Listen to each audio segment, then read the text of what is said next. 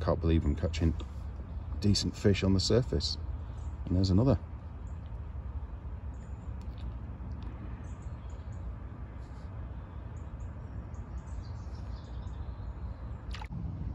Beautiful word.